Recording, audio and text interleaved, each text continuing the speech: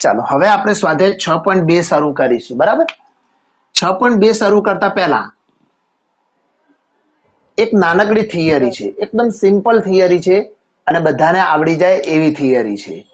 બરાબર? બહુ જ સિમ્પલ થિયરી છે. એક જ મિનિટ ભાઈ, કોઈ વચ્ચે બોલે છે. ભાવી બોલ, ફરી.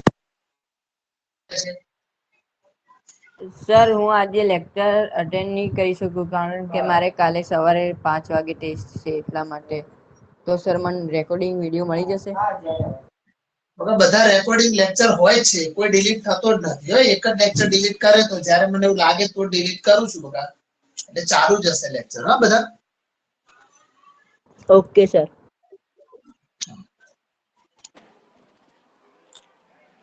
જો સ્વાધ્યાય છ પોઈન્ટ બે ની નાનકડી થિયરી જોઈ લઈએ. બહુ સિમ્પલ થિયરી છે અને એ થિયરી ઉપર આખું સ્વાધ્યાય છ પોઈન્ટ બે છે.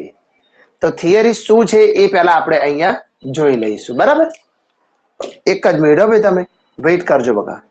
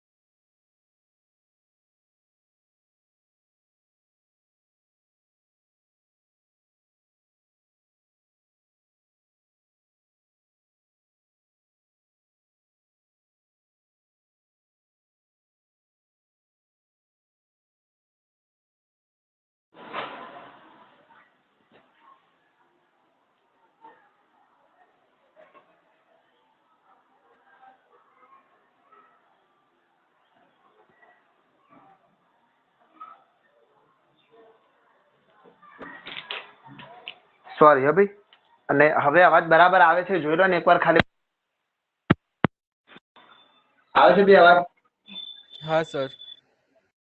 હા હા. બસ બસ હા ભાઈ. વચ્ચે ફોન આવી ગયો તને ઇમરજન્સી હતો ને એટલે ઉપાડો પડે તો બરાબર ચાલો. ચાલો હવે સ્ટાર્ટ કરીએ છીએ સ્વાધ્યાય છ પોઈન્ટ બે. એના માટે એક સિમ્પલ થિયરી છે. એ થિયરી તમને આવડી જાય એટલે આખું સ્વાધ્યાય છ પોઈન્ટ બે આપણને આવડી જાય. એવું મજાનું છે. જુઓ. કોઈ બી આપણને ફંક્શન આપ્યું હશે એફ એક્સ એની રકમ ગમે તે હોય. સાઈન એક્સ હોય, પાંચ એક્સ વત્તા બે હોય થ્રી એક્સ ક્યુબ હોય કે કંઈ બી હોય. હવે એ જે ફંક્શન છે, એ વધતું વિધેય છે કે ઘટતું એ આપણે આખા સ્વાધ્યાય છ પોઈન્ટ બે ની અંદર નક્કી કરવાનું છે. આપણે ધોરણ અગિયારની અંદર તમે ઓલ એસટીસી શીખી ચૂક્યા હશો. એની અંદર આવતું હતું કે સાઈન પહેલા ચરણમાં વધતું વિધેય છે. જ્યારે કોસ પહેલા ચરણમાં ઘટતું વિધેય છે. તો એ રીતે ત્યાં ચરણ વાઇઝ હતું. પરંતુ અહીંયા તમને સંખ્યાઓ આપેલી હશે.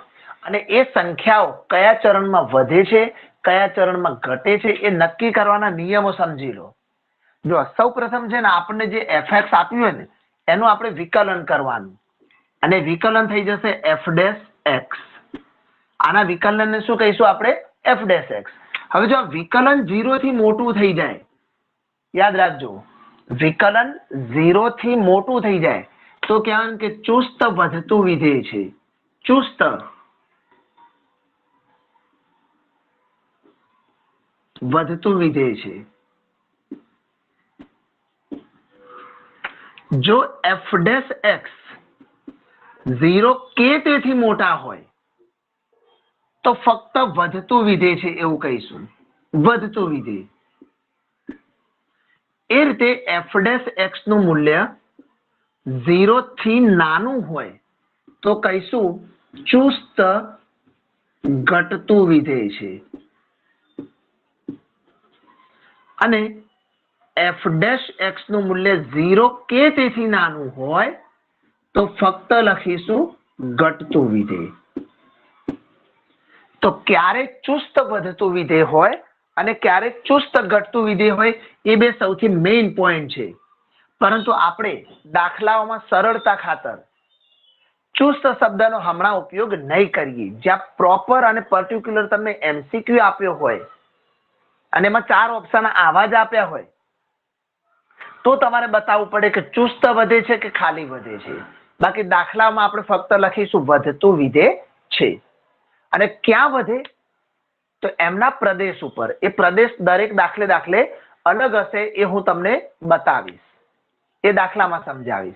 બરાબર? તો એફએક્સ વધે છે કે ઘટે છે એ નક્કી કરવા માટેની આ એક કસોટી છે આપણી. હવે આપણે આના ઉપર ડિપેન્ડ આખા સ્વાધ્યાય છ પોઈન્ટ બે ને આપણે અહીંયા ગણીશું. હા, ક્યારેક એવું પણ બની શકે. સપોઝ એવું આપ્યું હોય કે ભાઈ એફ ડેશ એક્સ ઝીરો થઈ જાય છે. પ્રોપર ઝીરો તો આ વધે કે ઘટે? તો આને કહીશું અચળ વિધેય. એ તો તમને ખબર જ પડી જાય છે. કોઈ પણનું વિકલન ઝીરો ક્યારે હોય? જ્યારે એ અચળ હોય. બાકી તો વિકલન ઝીરો થાય જ નહીં ને. બરાબર? એટલે આટલા નિયમોનો તમે એક સ્ક્રીનશોટ લઈ લો અને સ્વાધ્યાયના દાખલા ગણીશું ને. એટલે તમને ખબર પડી જશે કે આના મિનિંગ શું છે.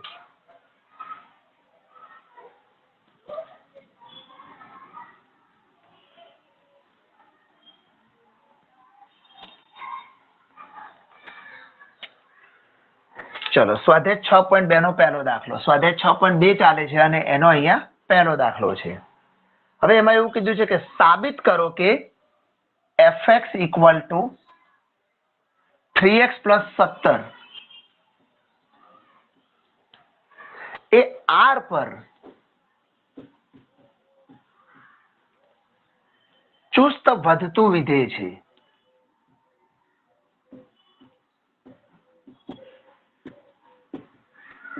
ચલો, આવું આપણે અહીંયા સાબિત કરવાના છીએ. તો દેખો સૌ પ્રથમ આપણે શું નિયમ છે કે એફ ડેશ એક્સ મેળવવા પડે?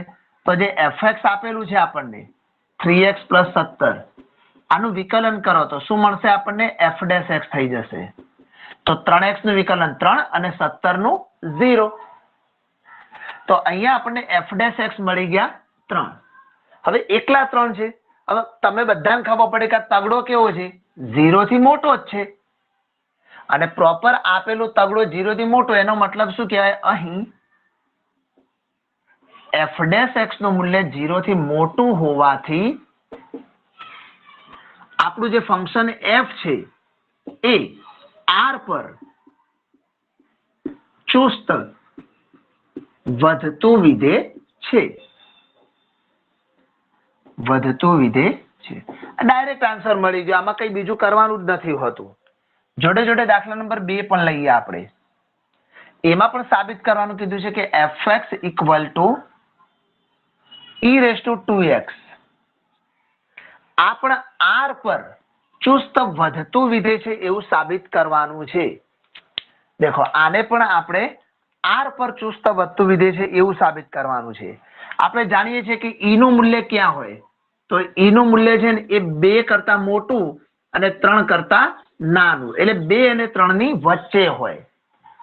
એનું મૂલ્ય બધા જાણો છો કે બે પોઈન્ટ ઇકોતેર બરાબર? આ સમથિંગ બાકી આખું આવે two point seven one eight three eight one eight three eight two બરાબર? એ આખી ઈની વેલ્યુ છે. તમારે આખી ઈની વેલ્યુ જાણવાની જરૂર નથી. આ એક સમય સંખ્યા છે, જેનું મૂલ્ય બે અને ત્રણની વચ્ચે લમસમ કિંમત મૂકવી હોય, તો આને બે પોઈન્ટ ઇકોતેર કહેવાય. પાછળ આવે ત્યાસી બ્યાસી એક્યાસી. બરાબર? એ નથી, ત્યાસી, એક્યાસી, બ્યાસી. એ રીતે આવે છે સમથિંગ પણ ઈ પોઈન્ટ ઈ બરાબર બે પોઈન્ટ ઇકોતેર કહેવાય. હવે આ ઈ પોતે તો ધન છે. ઈ એટલે બે અને ત્રણની વચ્ચેની એક સંખ્યા, જે જીરો કરતા મોટી છે. હવે જીરો કરતા મોટી સંખ્યા કોઈ બી હોય, ધન સંખ્યા, એને તમે ગમે તેટલી ઘાત આપો. ગમે તેટલી ઘાત આપો. એ ઓલવેઝ ઝીરો થી મોટી જ રહેશે. ચાહે ધન ઘાત આપો કે ઋણ ઘાત આપો. તમે કોઈ બી ઘાત આપો, ઈ ઉપર ઘાત આવે એટલે એનો જવાબ ઝીરો થી મોટો થાય થાય ને થાય. તો ઈ રેસ ટુ ટુ એક્સની વેલ્યુ ઝીરો થી મોટી છે. માટે કહી શકાય કે એફ એક્સ સોરી આપણે એક વસ્તુ રહી ગઈ. આ તો ઈ નું મૂલ્ય તમને બતાવ્યું, અહીંયા લખીએ હવે આ ઈ નું મૂલ્ય છે ખાલી, એ લખતા લખતા આપણે ભૂલી ગયા. અહીંયા એફ ડેશ એક્સ મેળવો, પહેલા વિકલન કરવાનું. તો ઈ રેસ ટુ ટુ એક્સનું વિકલન e raise to two x જ થાય. પણ ટુ નું શું થશે? ટુ. એ આને ગુણાઈ જશે. હવે જોવાનું છે. ઈ કેવો છે? ઝીરો થી મોટો. તો ઈ રેસ પણ કેવા થાય? ઝીરો થી મોટા. તો બંને બાજુ બે વડે ગુણી નાખો. તો two into e raise to two x આ પણ કેવા થશે? ઝીરો થી મોટા. તો આખે આખું વિકલન ઝીરો થી મોટું થયું. માટે કહેવાય કે અહીં એફ ડેશ ઝીરો થી મોટા હોવાથી આપેલું ફંક્શન એફ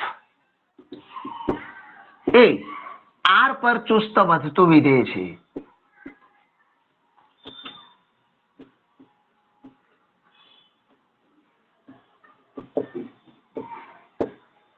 હવે દેખો, આમાં શું કરવાનું ભાઈ આ દાખલાઓમાં.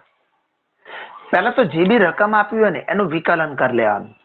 વિકલન કર્યા પછી એ વિકલન જે બી આવે ને, એ કેવું છે? ઝીરો કરતા મોટું હોય તો વધતું વિધે ઝીરો કરતા નાનું હોય તો ઘટતું વિધે, અને ઝીરો થઈ જાય તો તો અહીંયા અચળ પદ હોય તો જ ઝીરો થાય ને ભાઈ? એટલે ઝીરો થાય તો અચળ પદ કહેવાય. તો આમાં મેઇન પોઈન્ટ શું હતો? ઈનું મૂલ્ય.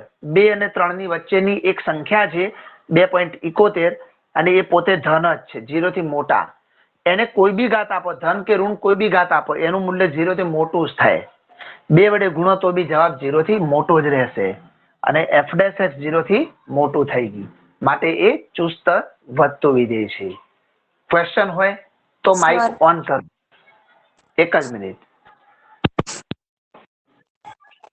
સર ક્વેશ્ચનમાં ચુસ્ત લખેલું નથી અને આપણે આન્સરમાં ચુસ્ત લખીએ તો કઈ પ્રોબ્લેમ નહીં કઈ જ નહીં થાય. કઈ જ નહીં થાય. આ દાખલામાં કઈ નહીં થાય. ચુસ્ત લખશો નહીં લખો તો બહુ ચિંતા નથી. એ પ્રોપર પર્ટિક્યુલર એમસીક્યુ ની અંદર એવા બે ઓપ્શન આવી જાય ને તો તમારે જોવું પડે. બાકી આની અંદર કોઈ તકલીફ જેવું નથી હો? લખાય ગંદી. બીજો કોઈ ક્વેશ્ચન જ બોલો બોલો કોઈ નહીં બી ચાલો, પર સમજાવજો. ઓકે. સર તો ભાઈ? હા બોલો. બીજો દાખલો રિપીટ કરજો. જો fx આપે છે e રેસ ટુ 2x એનું વિકલન આવડે કરતા તમને? E રેસ ટુ 2x નું વિકલન e રેસ ટુ 2x જ થાય. પણ 2x નું શું થઈ જાય? 2 થઈ જાય.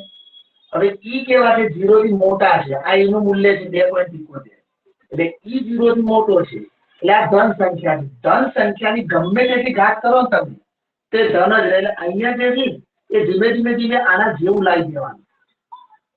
એટલે ઈ લખ્યો પેલા એ જીરો થી મોટો છે. હવે એની બે ટુ એક્સ ઘાત કરી તમે જુઓ. તો એ પણ મૂલ્ય જીરો થી મોટું આવ્યું. પણ હજુ આગળ બે ગુણેલા છે. તો એને બે બાજુ બે વડે ગુણો તો એ જવાબ જીરો થી તો મોટો જ આવશે. હવે આ છે કોણ? આ આપણું એફ ડેશ છે. આ મોટું હોય ઝીરો થી. તો આ મોટું જ કહેવાય. અને એટલા માટે લખ્યું કે એફ ડેશ એક્સથી મોટા છે. અને એટલા માટે એ ચુસ્ત વર્તુળની લીધું છે. બોલો, હજુ કોઈ ક્વેશ્ચન હોય તો મળી જાય. ઓકે.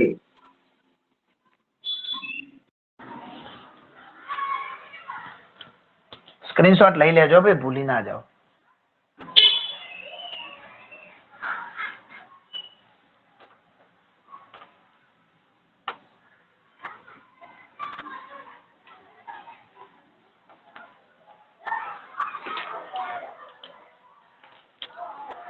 ચલો, નંબર ત્રણની અંદર જઈએ ને, તો અલગ અલગ ઓપ્શન આપેલા છે. નંબર ત્રણમાં સાબિત કરો કે એફ એક્સ બરાબર સાઈન એક્સ એ અલગ અલગ ઓપ્શન છે. એમાં પહેલો એક ઓપ્શન કીધો છે ઝીરો થી પાઈ બાય ટુ માં. ચુસ્ત વધતું વિધેય છે. આ પહેલું સાબિત કરવાના છીએ. ચુસ્ત વધતું વિધેય છે. ચલો, પહેલા આપણે આનું જ સાબિત કરી લઈએ. બીજા બે ઓપ્શન આપણે પછી લઈશું. બરાબર? ચલો, પહેલા તો એફ ડેશ એક્સ કરવાનું, વિકલન કરી લેવાનું. તો સાઈનનું વિકલન થશે કોસ એક્સ હવે ઝીરો થી પાઈ બાય ટુ એટલે કયું ચરણ થાય ભાઈ? પહેલું ચરણ. ઝીરો થી પાઈ બાય ટુ અને પહેલા ચરણની અંદર કોસ એક્સ કેવા હોય? એ તો ધન જ હોય ઝીરો થી મોટા જ હોય. તો cos x greater than zero અહીં લખું લખાય કે ભાઈ zero to pi by two માં cos x નું મૂલ્ય ઝીરો થી મોટું છે. અને માટે શું કહેવાય ભાઈ? કે ઝીરો થી પાઈ બાય ટુ માં f અહીં લખું લખાય એફ ડેશ એક્સ કેવા થઈ ગયા ભાઈ? ઝીરો થી મોટા થઈ ગયા. કારણ cos x ઝીરો થી મોટો થયો. એટલે એફ ડેશ એક્સ પણ ઝીરો થી મોટા થઈ ગયા. તો ઝીરો થી પાઈ બાયમાં એફ એ ચુસ્ત વધતું વિધેય છે. વધતું વિધેય છે.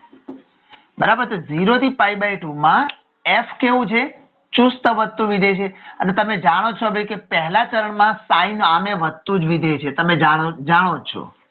બરાબર? પ્રથમ ચરણમાં સાઈન વધતું વિધેય છે. અને આપણે એની જ વાત કરી કે ભાઈ એફ એટલે રકમ. એ રકમ વધતું વિધેય છે. જુઓ. આ પહેલો ઓપ્શન પૂરો આપણો. હવે એવો ને એવો બીજો ઓપ્શન લઈએ. એમાં આપણે કીધું છે પાઈ બાય ટુ થી પાઈ આ પહેલાનો જવાબ છે. ભાઈ આ યાદ રાખજો. હવે બી લઈએ છીએ. પાઈ બાય ટુ થી પાઈમાં આમાં શું સાબિત કરવાનું કીધું છે એમણે? કે ચુસ્ત ઘટતું વિધેય છે.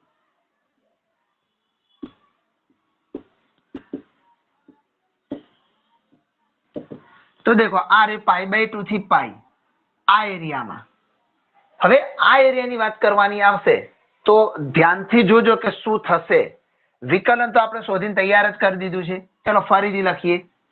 એફ એક્સ બરાબર સાઇન એક્સ આ રકમ છે. કરીએ એનું વિકલન. એફ ડેશ એક્સ બરાબર કોસ એક્સ હવે તમે જાણો છો કે બીજા ચરણમાં કોસ ઋણ હોય. ઓલ એસ ટી સી તમે જુઓ. ઓલ એસ ટી સી હવે પાઈ બાય ટુ થી પાઈ એટલે બીજું ચરણ. બીજા ચરણમાં કોસ કેવો છે? ઋણ હોય એ આપણે જાણીએ છીએ. તો અહીં પાઈ બાય ટુ થી પાઈમાં કોસનું મૂલ્ય ઝીરો થી નાનું હોય. કોસ નેગેટિવ હોય એ તમે જાણો છો ઓલ એસટીસી પ્રમાણે.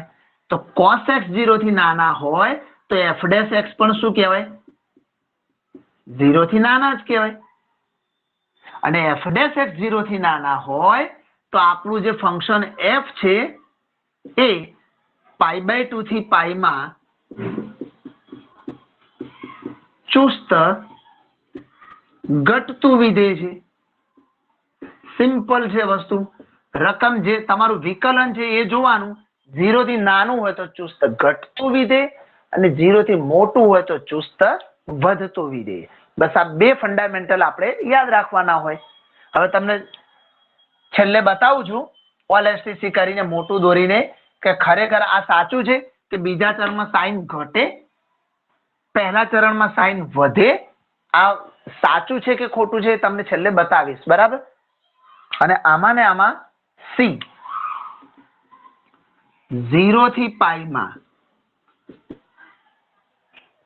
વધતું કે ઘટતું વિધેય નથી.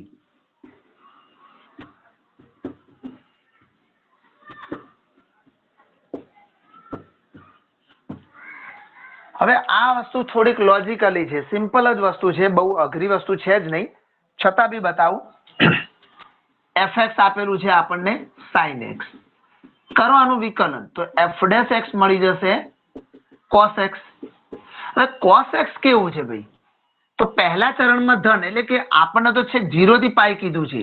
એટલે અહીંથી શરૂઆત કરવાની. દેખો. આ ઝીરો થી સ્ટાર્ટ કરીને છેક એ આટલામાં ધન હશે ને આટલામાં ઋણ હશે, તો નક્કી કેવી રીતે કરવું કે આટલા એરિયામાં ધન કેવું કે ઋણ કેવું? અડધા ભાગમાં ધન ને અડધા ભાગમાં ઋણ થઈ જાય છે. તો આપણે એવું પ્રોપર કહી જ ન શકીએ કે ભાઈ આ વધે છે કે ઘટે છે. તો દેખો, અહીં લખાય, ઝીરો થી પાઈ બાય ટુ માં એફડેસ એક્સ વધે. એટલે ઝીરો થી પાઈ બાય ટુ એટલે પહેલા ચરણમાં શું થશે? વિકલન જે કર્યું ને કોસ એક્સ. એ તો વધે છે પહેલા ચરણમાં.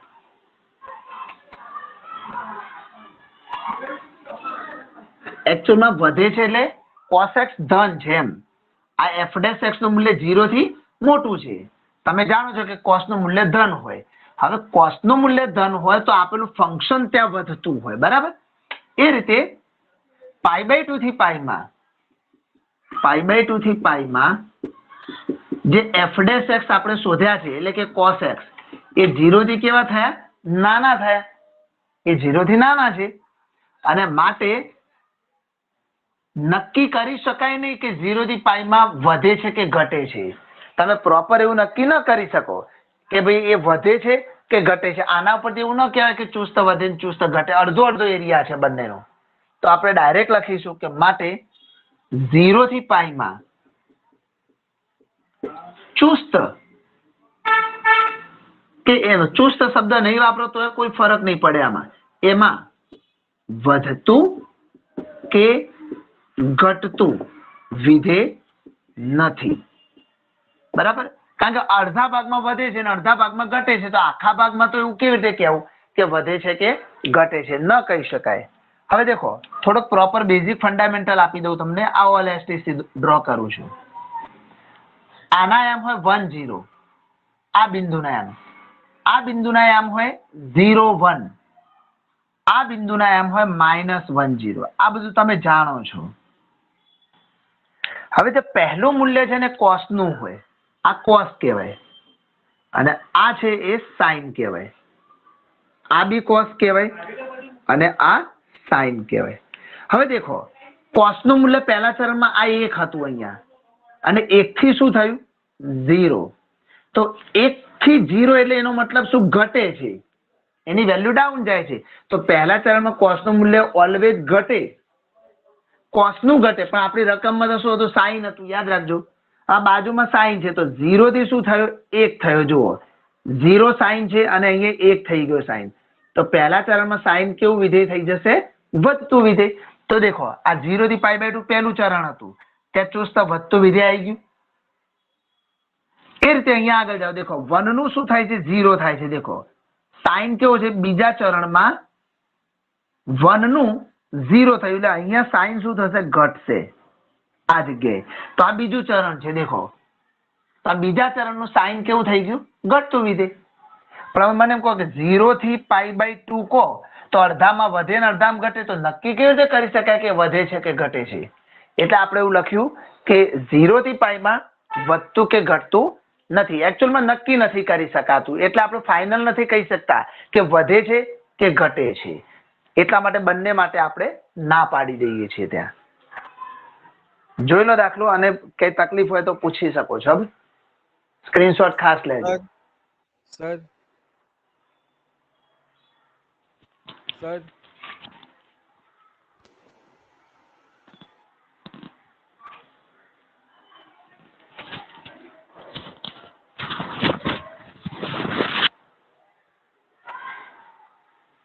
ચાલો, હવે આગળ જઈએ.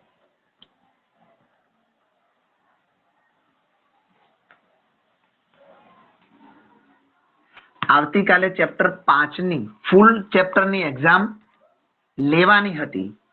પરંતુ રક્ષાબંધનના હિસાબે આપણે લઈ શકતા નથી. તો વચ્ચેનો દિવસ સેટ થશે. તો વચ્ચેનો, અન્યથા નેક્સ્ટ સન્ડે આખા ચેપ્ટર પાંચની ફૂલ એક્ઝામ લેવામાં આવશે. એ ઇનામ રાખવાવાળી જે એક્ઝામ છે એ રહેશે એટલે એમાં ખાસ મહેનત કરજો ભાઈ તમે.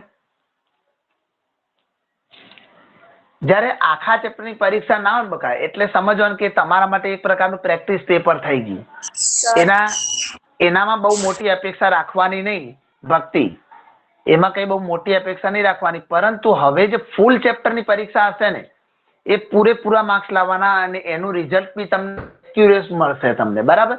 એટલે એમાં તમારે ખાસ ધ્યાન રાખવાનું. બાકી બીજી બધી પરીક્ષાઓ લઈએ ને એક એક ટાઈપનું ટાઈપ ઓફ હોમવર્ક એટલું મગજમાં રાખજો ટાઈપ ઓફ હોમવર્ક છે. હું બધાના પેપર ચેક કરું, પણ માર્ક્સ નથી આપતો એમાં. એટલે ફૂલ ચેપ્ટર થશે ને જ્યારે આખું, જેમ કે હવે પાંચમું આખું થશે, તો આપણે એનું આખાના માર્ક્સ સાથે તમને મળી જશે, બરાબર? અને એમાં ઇનામ પણ મળશે. આ વખતે આપણે હંડ્રેડ રૂપીઝ ઇનામ રાખેલું છે ફર્સ્ટ વિનર ફર્સ્ટ ગણો લાસ્ટ ગણો એવું કંઈ હોતું જ નથી. પૂરેપૂરા માર્ક્સ આવે એટલે એમાં હંડ્રેડ રૂપીઝનું ઇનામ તમને મળે. ખાલી ક્રાઇટેરિયા એટલો જ હોય છે કે તમે તમારો કેમેરો ઓન કરીને આખી પરીક્ષા આપેલી હોવી જોઈએ.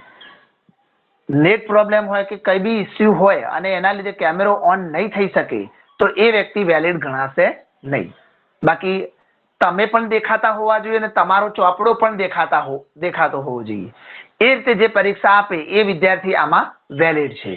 એકલો ચોપડો બતાવશો તો બી નહીં ચાલે. બરાબર? કારણ કે એમાં તો ઘણું બધું થઈ શકે છે. અને પૂરેપૂરો સમય તમને આપ્યો છે આપણે. કારણ કે તમે સરખી એવી મહેનત કરીને પણ એના માર્ક્સ લાવી શકો. ચલો, નંબર ચાર જોઈએ હવે. વિધેય એફએક્સ આપેલું છે. Two x square minus three x કયા અંતરાલમાં ચુસ્ત વધે અને કયામાં ચુસ્ત ઘટે તે શોધવાનું છે.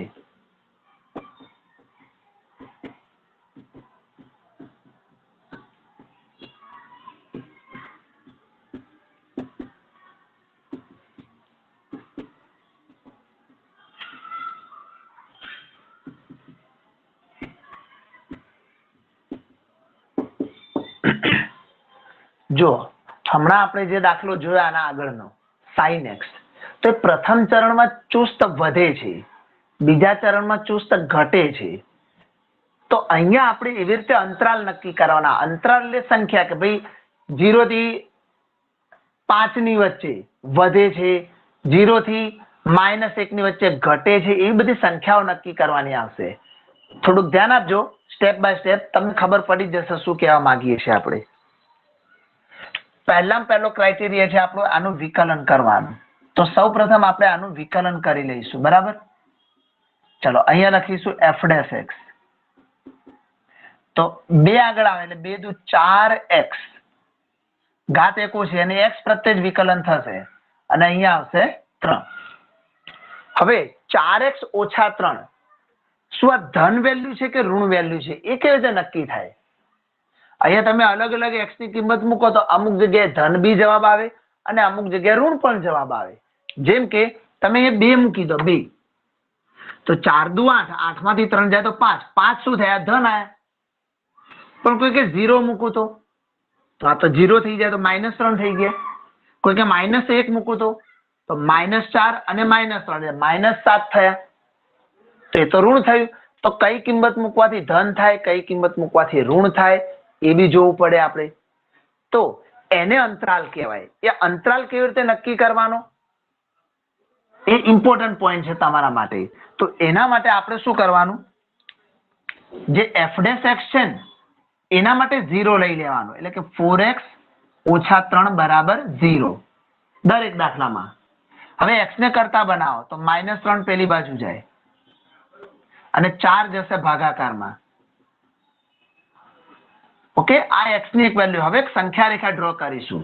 સંખ્યા રેખાનો મતલબ આખો અંતરાલ, આખો આપણો આર એ પોઝિટિવ ઇન્ફિનિટી થી માંડીને છેક નેગેટિવ ઇન્ફિનિટી એટલે આખો આપણો વાસ્તવિક સંખ્યાનો ગણ, આખી સંખ્યા રેખા આની અંદર થ્રી બાય ફોર લગભગ ક્યાંક તો હશે ને? ભાઈ, હું અહીંયા લખું છું three by four three by four એટલે zero point something zero point something કોઈ બી એક વેલ્યુ તો દેખો, આખા આર ને બે અંતરાલમાં વહેંચી દીધા. આ બાજુનું અંતરાલ કયો છે? માઇનસ ઇન્ફિનિટી થી થ્રી બાય ફોર. અને પેલી બાજુનું અંતરાલ થ્રી બાય ફોરથી ઇન્ફિનિટી. તો આ રીતે આખા સંખ્યા આર ને આપણે જે વાસ્તવિક સંખ્યા આર ગણ હતો ને, એને બે ભાગમાં આપણે ડિવાઈડ કરી નાખ્યા છે અહીંયા. પણ એક પ્રશ્ન, કે થ્રી બાય ફોર કયામાં લેવાના? ધન બાજુ કે ઋણ બાજુ?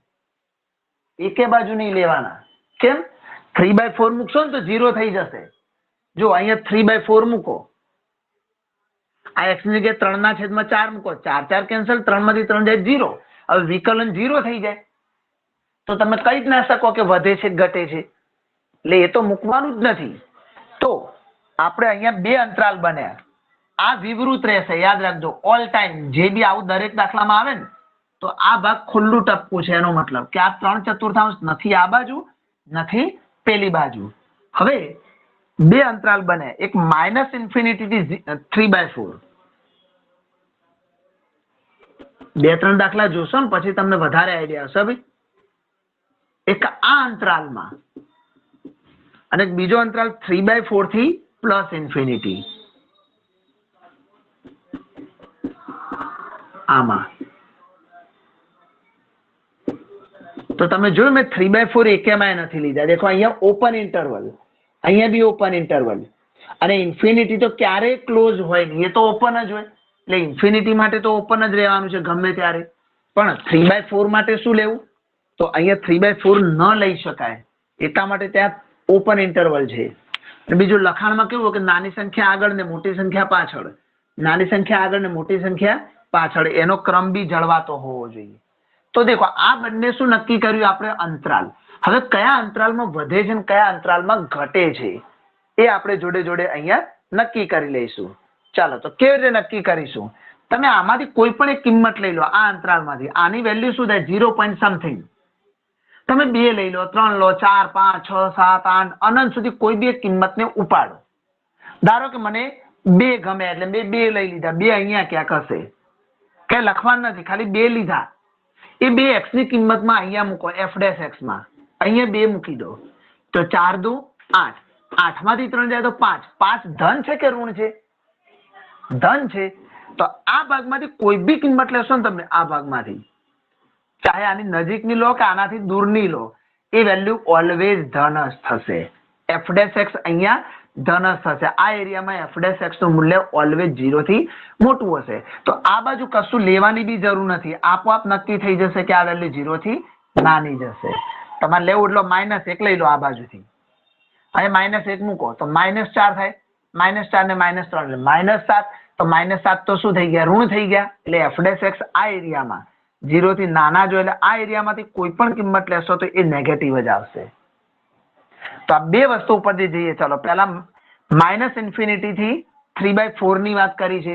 તો અહીંયા કેવું એફ ડેશ આવશે? ઝીરો થી નાનું. આમાં એફ ડેશ એક્સ ઝીરો થી નાનું હોવાથી એફ એ માઇનસ ઇન્ફિનિટી થી થ્રી બાય ફોરમાં ઘટતું વિધેય છે. તો દેખો, કયા અંતરાલમાં વધતું ઘટતું તો ઘટવા વાળો આપણને ખબર પડી ગઈ.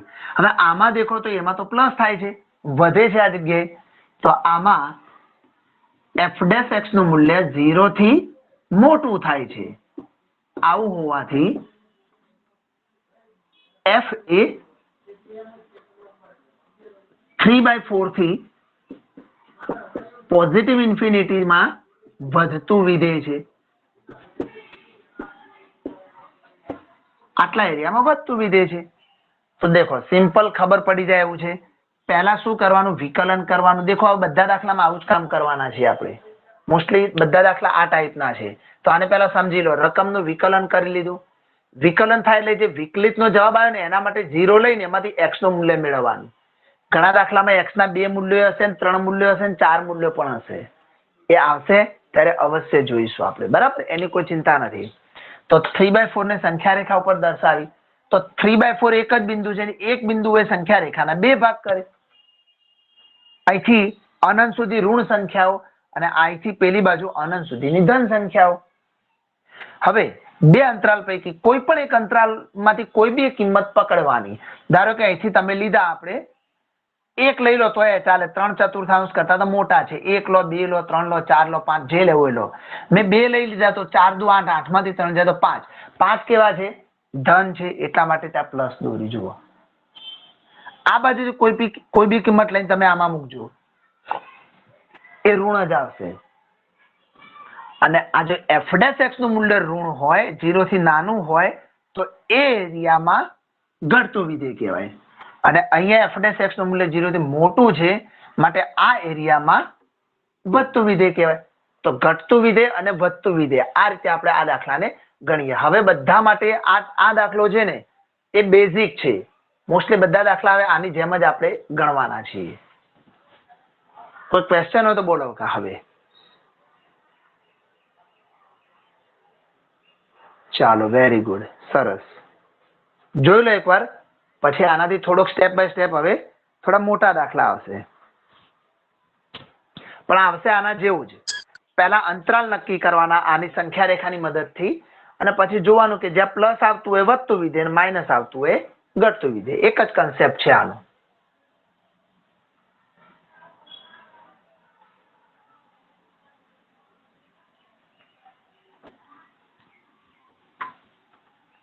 ચલો હવેની નેક્સ્ટ રકમ પણ એવી જ છે. નંબર પાંચ.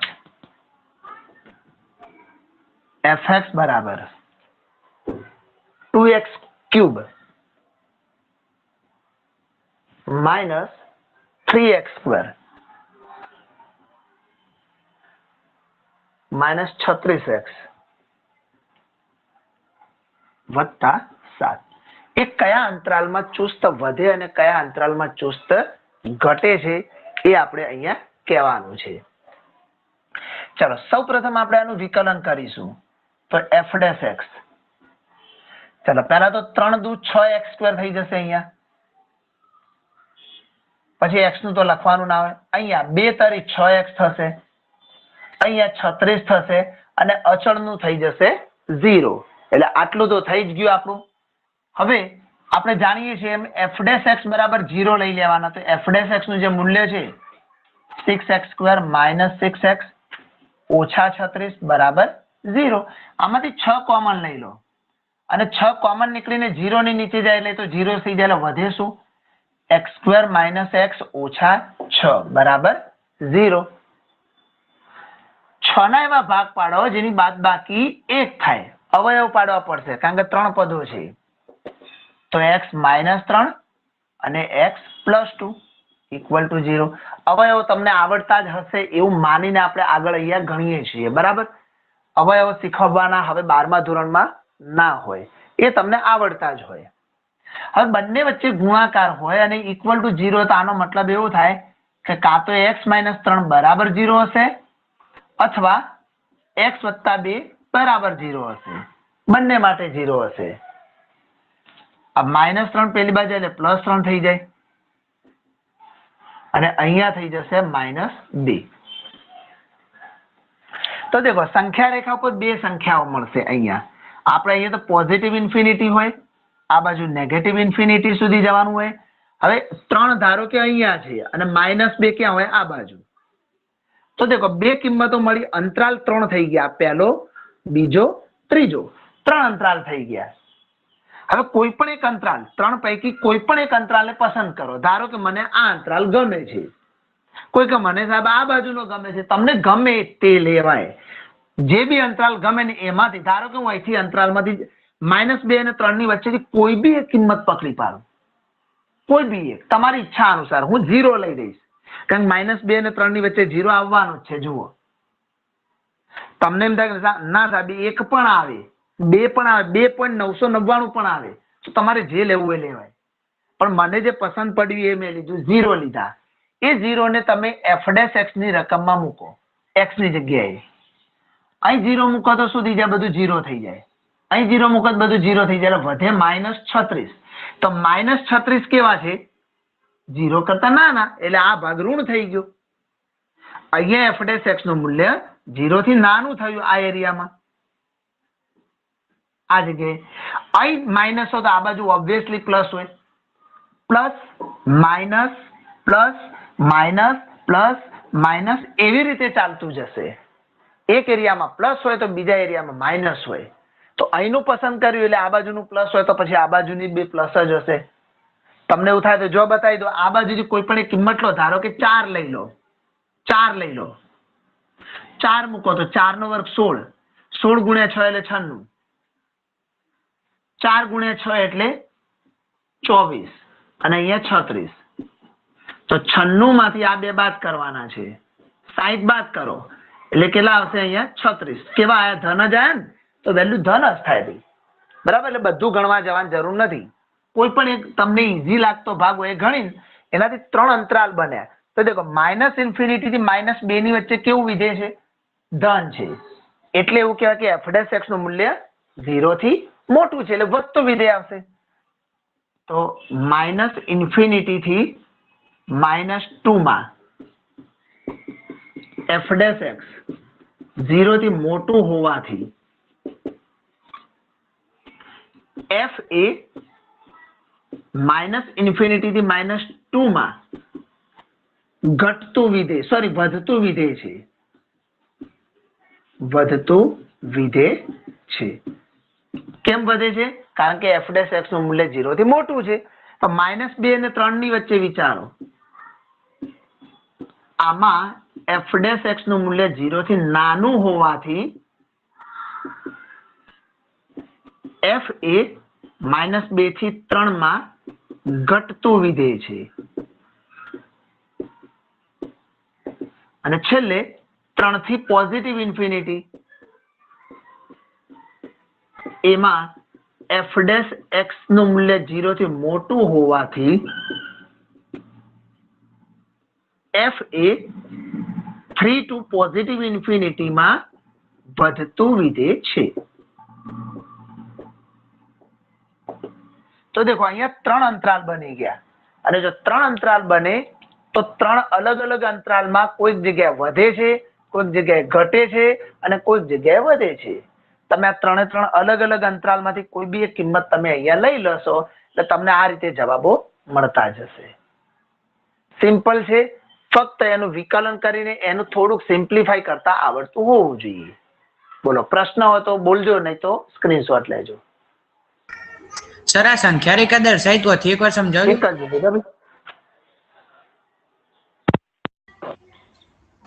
સર આ સંખ્યા રેખા જે દર્શાવી તો એકવાર સમજાવજો. અહીંયા કેટલી કિંમતો મળી તમને? બોલો.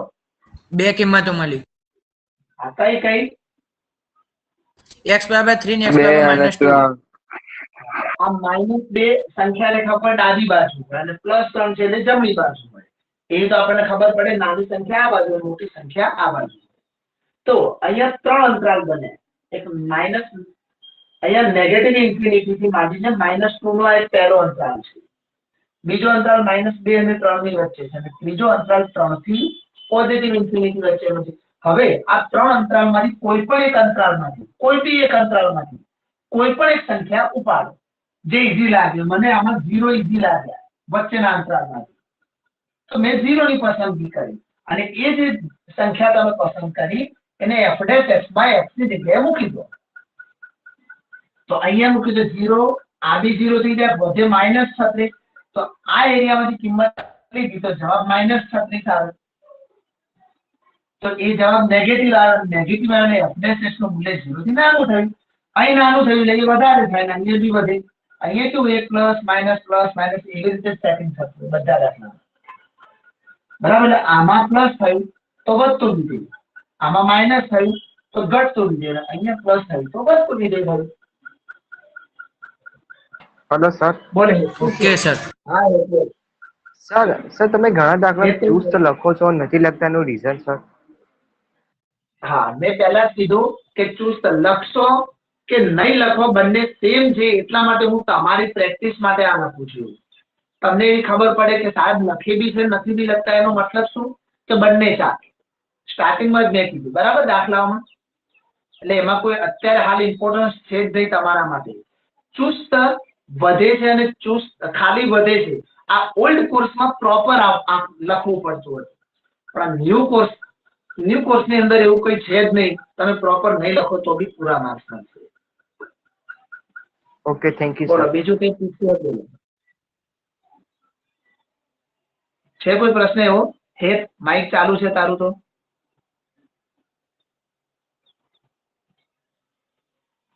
અવાજ સંભળાય છે બીમાર યસ સર હા સર. હા ઓકે ચાલો. ચાલો તો આનો સ્ક્રીનશોટ લો. એટલે છે ને જ્યારે જો તમને કોઈ દાખલામાં કન્ફ્યુઝન હોય ને તો પૂછવાનું બી ખરું અને હું એવું કહું છું કે આખું સ્વાધ્યાય આના જેવું છે એનો મતલબ કે આવા ઘણા બધા દાખલા આવશે. એટલે કન્ફ્યુઝન ધીમે ધીમે ધીમે ધીમે દૂર થશે અને આઠમો નવમો દાખલો ગણતા હશે ત્યારે તમને એવું લાગશે કે અચ્છા પહેલા બીજા દાખલામાં કેમ આવું કરતા હતા સાહેબ? એ તમને ત્યારે પણ આઈડિયા આવી જશે. ઓકે? એટલે ચિંતા ના કરો હવે છતાં બી જેટલા બી ક્વેશ્ચન હોય, પૂછતા તો રહેવાનું જ.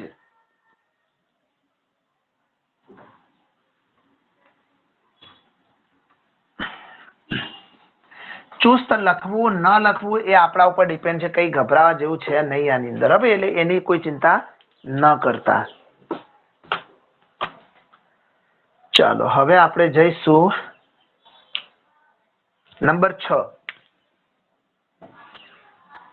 એમાં, હા, પાછું એમાં અલગ અલગ છે કે કયા અંતરાલમાં ચુસ્ત રીતે વધે છે અથવા ઘટે છે તે નક્કી કરો. એમાં એક, બે, ત્રણ, ચાર, પાંચ, છ. બધા અલગ અલગ દાખલા આપ્યા છે. ચાલો, એ સારું છે. તમારે વધુ ને વધુ પ્રેક્ટિસ થઈ જશે ત્યાં આગળ. તો દેખો, પહેલો એ છે છઠ્ઠામાં ઈ.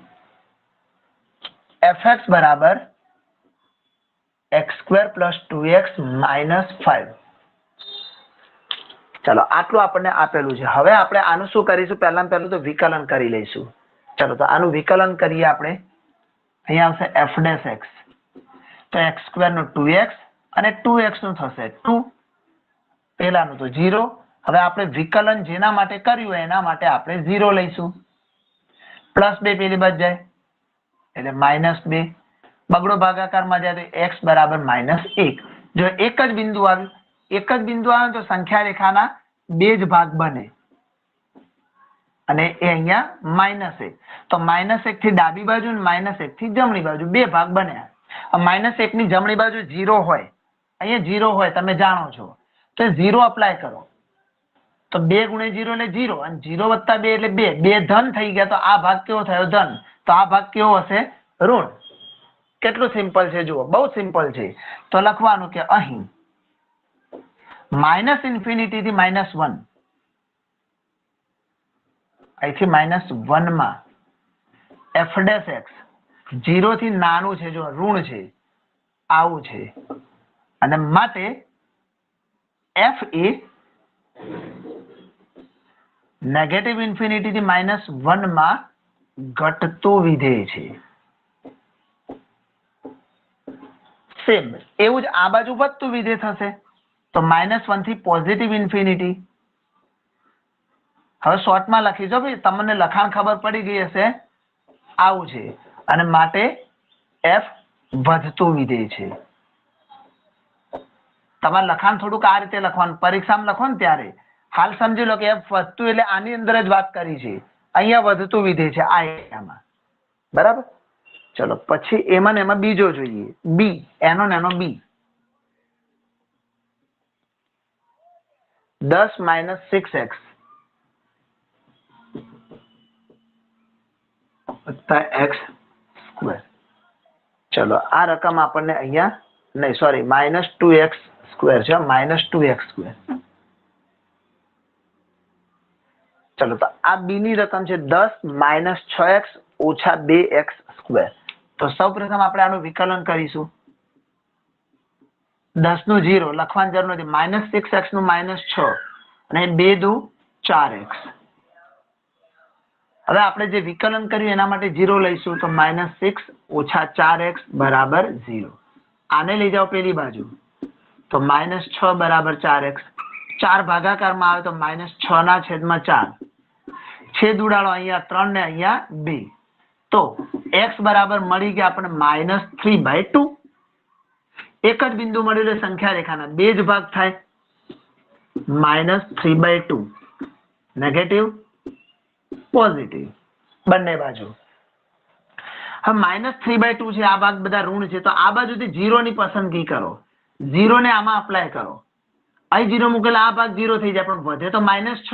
એટલે ઋણ સંખ્યા, એટલે આ ભાગ ઝીરો આવ્યો તો આ ભાગ કેવો હોય? પેલો માઇનસ આવ્યો તો આ ભાગ કેવો હોય? પ્લસ જ હોય. હવે આ વસ્તુ લખી, યાદ રાખવાની. તો હવે શોર્ટમાં લખીશ, આ જે લખાણ છે માઇનસ ઇન્ફિનિટી થી માઇનસ થ્રી બાય ટુ માં એફ ડેસ એક્સ ઝીરો થી મોટું માટે વધતું વિધેય. દેખો, આ અંતરાલ છે, આ અંતરાલની અંદર એફ ડેસ એક્સનું મૂલ્ય પ્લસ આવ્યું, એટલે કે ઝીરો થી મોટું આવ્યું, એટલે વધતું વિધેય. પેલી બાજુ ઝીરો થી નાનું છે અંતરાલ કયો છે? માઇનસ થ્રી બાય ટુ થી પોઝિટિવ ઇન્ફિનિટી. એમાં એફ ડેસ એક્સનું મૂલ્ય કેવું હશે? નેગેટિવ, એટલે ઝીરો થી નાનું. અને માટે ઘટતું વિધેય ત્યાં મળશે આપણને ઘટતું વિધેય બરાબર? વધતું વિધેય અને ઘટતું વિધેય આ રીતે બે વસ્તુ આપણે અહીંયા લખી નાખી. ચાલો, તો આ બી થઈ ગયો. જોઈ લો, પ્રશ્ન તો પૂછો. નહીં તો આગળ જવા દઈએ. યસ એનો અર્થ એવો થયો કે હવે ધીમે ધીમે તમને સમજ પડવા લાગી છે. બરાબર? જો પ્રશ્નો બંધી જાય એનો મતલબ સમજવાનું કે બધી જ ખબર પડે છે. અને જ્યાં સુધી ખબર ન પડે ત્યાં સુધી અવશ્ય પ્રશ્ન પૂછતા રહેજો ભાઈ. ચાલો ઓકે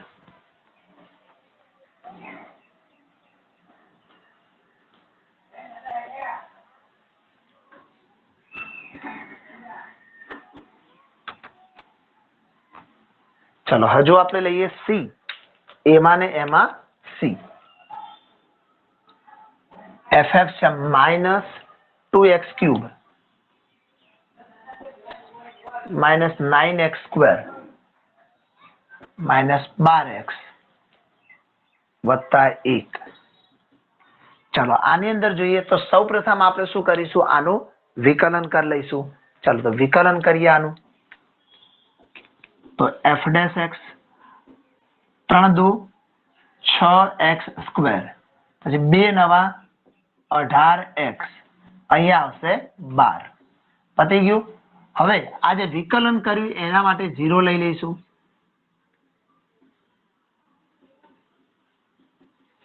આમાંથી માઇનસ છ કોમન લઈ લઈએ. દેખો, છ તો નીકળે છે, પણ માઇનસ બી લઈ લઈએ. તો પ્લસ એક્સ સ્ક્વેર અહીંયા પ્લસ ત્રણ એક્સ પ્લસ બી, બરાબર? ઝીરો. તો માઇનસ છ કોમન લઈ લીધા ઝીરો ના છેદમાં ગયા એટલે ઝીરો થઈ ગયા. આ બધું બેઝિક કન્સેપ્ટ છે. આ તો તમને આવડે. બેના એવા ભાગ પડે જેનો સરવાળો ત્રણ થાય. તો એક્સ પ્લસ ટુ અને x plus one equal to zero ચાલો, તો આ આપણે લઈ લીધું અહીંયા. હવે આના માટે પણ ઝીરો હોય અને આના માટે પણ ઝીરો હોય. તો x plus two equal to zero or x plus one equal to zero તો આના ઉપરથી શું મળશે? એક્સ બરાબર માઇનસ બે. અહીંયા મળશે એક્સ બરાબર માઇનસ એક. બે બિંદુ મળે, એટલે અંતરાલ આપણને મળી જશે ત્રણ. દેખો, એક માઇનસ વન સપોઝ અહીંયા છે, તો માઇનસ ટુ અહીંયા લઈ લઈએ. હવે ત્રણ અંતરાલ પૈકી સૌથી ઈઝી પોઈન્ટ કોણ છે? આની જમણી બાજુ ઝીરો હશે અહીંયા. તો ઝીરો ને પસંદ કરો અને આમાં મૂકો.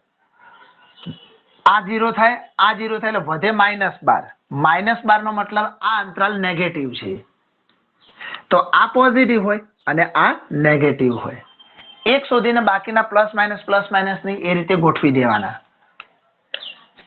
તો હવે આપણે લખીશું કે માઇનસ ઇન્ફિનિટી થી માઇનસ ટુ માં એફ ડેસ એક્સ દેખો માઇનસ એટલે ઝીરો થી નાનું હોવાથી ઘટતો વિધેય ઘટતો વિધેય છે. હવે માઇનસ બેથી માઇનસ એક માં જઈશું આપણે. તો માઇનસ બેથી માઇનસ એક માં એફ એક્સ ધન છે. ધન એટલે ઝીરો થી મોટું છે. અને આવું હોય તો શું થઈ જાય? વધતું વિધેય આ વધતું વિધેય છે. અને છેલ્લે માઇનસ એક થી પોઝિટિવ ઇન્ફિનિટી આમાં એફ ડેશ એક્સથી નાના છે. હોવાથી ઘટતું વિધેય છે. બસ, તો આ રીતે તમે આને દર્શાવી શકો. બરાબર? બહુ સિમ્પલ પોઈન્ટ છે આ વસ્તુમાં. ચલો, એવો ને એવો હજુ સી પછી આવશે ડી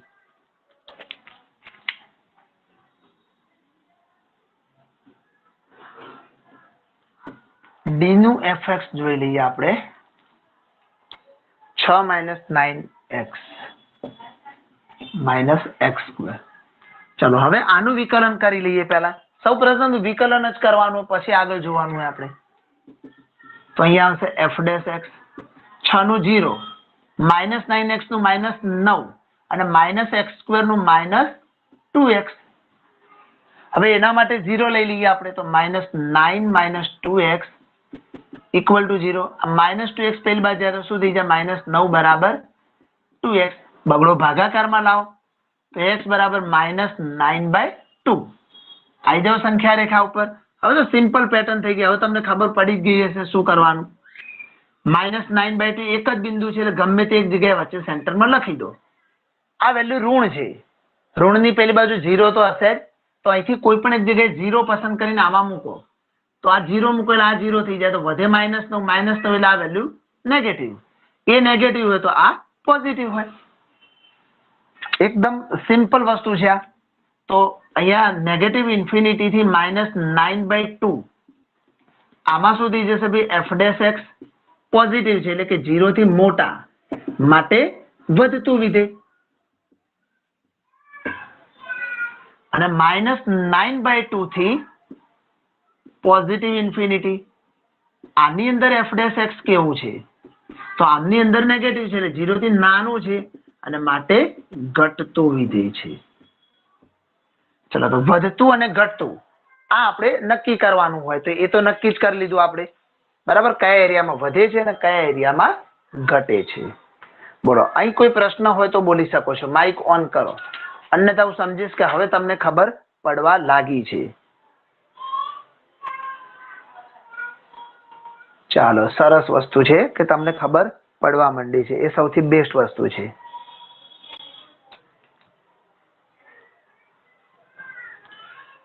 સ્ક્રીનશોટ લઈ લેજો. સર સર સર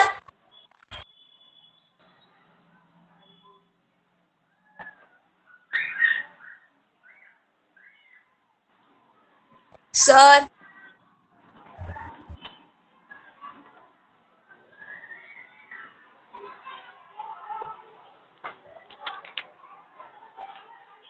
ચાલો number E A B C D E આવ્યો. એમાં એફ એક્સ ઇક્વલ ટુ આપણને કીધા છે એક્સ પ્લસ વન નો ક્યુબ અચ્છા એક્સ પ્લસ વન નો ક્યુબ છે, બરાબર છે. એક્સ પ્લસ વન નો હોલ ક્યુબ એટલે આખાનો ઘન છે. અને ઇન્ટુ હજુ એની સાથે ગુણાકારમાં પણ આપણને કીધેલું છે કે એક્સ માઇનસ ત્રણ નો બી ઘન છે.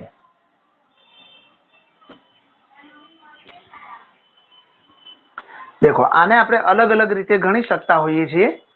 પહેલા તમે બંનેનું સિમ્પ્લિફાઈ કરો, અંદર અંદર ગુણાકાર કરી દો અને પછી વિકલન કરો, તો બી વાંધો ના આવે. અને વિકલન કર્યા પછી તમે ગુણો, તો પણ કોઈ વાંધો આવશે નહીં. ચલો, આપણે પહેલા એક કામ કરીએ. બંને ઉપર ઘન છે વચ્ચે ગુણાકાર છે તો ભેગું કાઢી નાખો. બંનેનો ઘન બહાર લઈ જાઓ, આ રીતે. અને અંદર લખો x plus one x minus ત્રણ હવે અંદર અંદર તો મલ્ટીપ્લાય થાય કરી નાખો. આમ નામ રાખીને કરવું તો એ થાય ગુણાકારનો નિયમ વિકલિતમાં. વિકલન કરતી વખતે આપણે ગુણાકારનો નિયમ યાદ રાખવાનો. કોઈ જ ફરક ના પડે. આન્સરને કોઈ જ ફરક નહીં પડે હવે જવાબ આવી જશે. અંદર મલ્ટીપ્લાય કરો તો એક્સ ગુણ્યા એક્સ એટલે એક્સ સ્ક્વેર પછી અહીંયા માઇનસ ટુ એક્સ અને માઇનસ ત્રણ તમને આ સિમ્પ્લિફાઈ કરતા આવડતું હશે એવું માનીને આપણે અહીંયા લખી નાખીએ બરાબર? X square minus two x minus three. હવે આપણે આનું વિકલન કરો, ચાલો. એફ ડેશ એક્સ તો પેલા ઘાતનું થાય ઘાત આગળ આવે અને ઉપર એક ઘાત ઓછી થઈ જાય.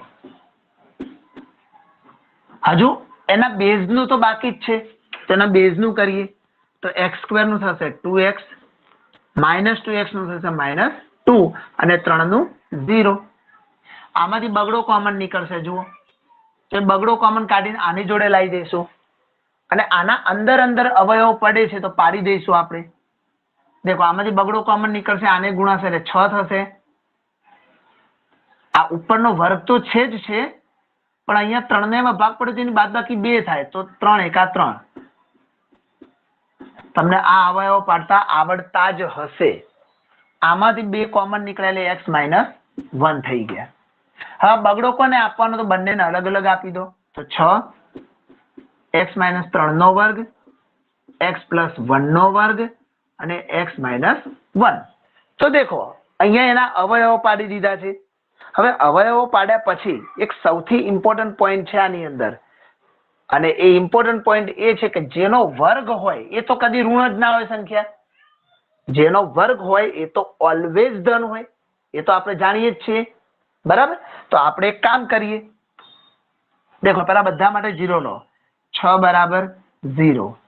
હોય આવું? આવું તો પોસિબલ જ નથી, એટલે છ તો ઝીરો થી મોટા જ છે. એટલે આ ભાગ તો ધન જ થઈ ગયો. પછી એક્સ માઇનસ ત્રણ નો વર્ગ લઈએ આપણે.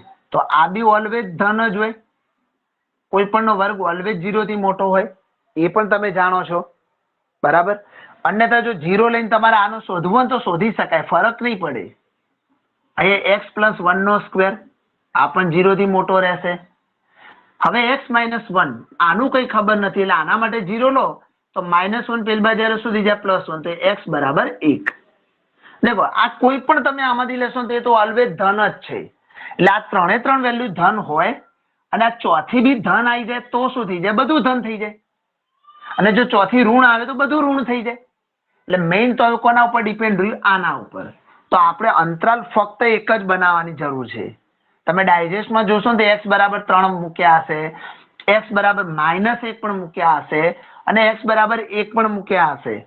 પરંતુ હું અહીંયા જે બતાવું એમાં સેમ આન્સર થઈ જશે તમારો. એક્સ બરાબર એક લેવાનો, બીજું કંઈ લેવાની જરૂર નથી. આટલું જ. બરાબર? હવે તમે એક કરતા મોટી કોઈ પણ કિંમત આ બાજુથી લઈ લો. ધારો કે અહીંથી બગડો લઈ લો. બગડો. તો બે માંથી એક જાય તો એક. એક કેવા થઈ ગયા? ધન. અહીંથી તમે બગડો લો તો બે ઓછા એક એટલે એક. અને એક કેવા કેવાશે? ધન કેવાશે. આ તો ઓલરેડી ધન છે. આ તો ઓલરેડી ધન છે ને આ પણ ઓલરેડી ધન છે. તો બધા ધનનો સરવાળો ધન જ થાય. ગુણાકાર. તમને એવું થાય કે આ બાજુથી લઈએ તો ચલો આ બાજુથી કોઈ પણ એક કિંમત આના માટે મૂકો. આ બાજુથી. એક કરતા નાનું કોણ? ઝીરો લઈ લો. ચાલો, ઝીરો. તો અહીં ઝીરો માંથી એક જાય તો શું થાય? માઇનસ એક થાય. આ વેલ્યુ નેગેટિવ થાય. ગમે તેટલી પ્લસ હોય, પણ એક નેગેટિવ થાય એટલે બધું નેગેટિવ થઈ જાય. બરાબર? એટલે બધા વારા પરથી અલગ અલગ અહીંયા લેવાની જરૂર નથી, કારણ કે ઉપર શું છે? સ્ક્વેર છે. ક્યુબ હોત ને ક્યુબ તો તો લેવી પડે. તો ઇક્વલ ટુ ઝીરો કરીને પછી દાખલો ગણવો પડે. પણ સ્ક્વેર હોય એટલે કોઈ પણ નો વર્ગ હંમેશા ઝીરો કરતા મોટો હોય. ઝીરો પણ હોઈ શકે, એનાથી કોઈ ફરક પડતો નથી.